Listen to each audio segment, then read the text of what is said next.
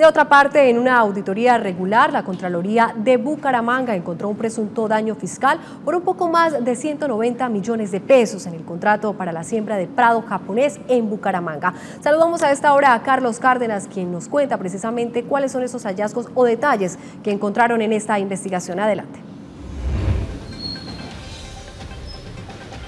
Pues la Contraloría Municipal de Bucaramanga indicó que en la contratación del prado japonés para Bucaramanga hizo falta planeación y estudios técnicos. Se ha instalado solo el 8% y ya en su inmensa mayoría registra daños por el sol.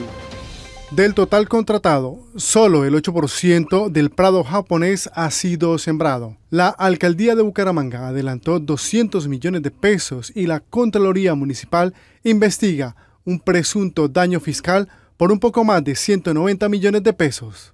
A la fecha, en noviembre de 2017, se encontró que la capacidad del proveedor que la más contrató no era suficiente para el cumplimiento de los más de 53 mil metros cuadrados que debían ser instalados. Según una auditoría regular que hizo la Contraloría de Bucaramanga, al parecer no se realizaron los estudios técnicos para la siembra del prado japonés, pues ya registra daños por el sol. Sí, es claro, las presencias en las visitas técnicas que desarrolló la Contraloría, no solamente en este contrato, sino en lo que hemos eh, desarrollado, desarrollamos durante el 2017, el prado japonés se, quema. Son cinco presuntas irregularidades que encontró la Contraloría de Bucaramanga sobre el contrato para la siembra de prado japonés en Bucaramanga.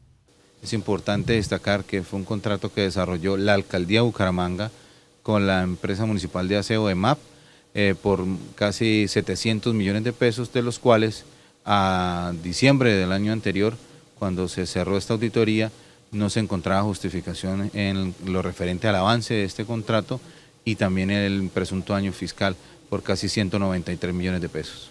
La Contraloría de Bucaramanga compulsó copias a la Procuraduría General de la Nación y a la Fiscalía para las respectivas investigaciones. Eso es todo por el momento. Sigan ustedes en estudio.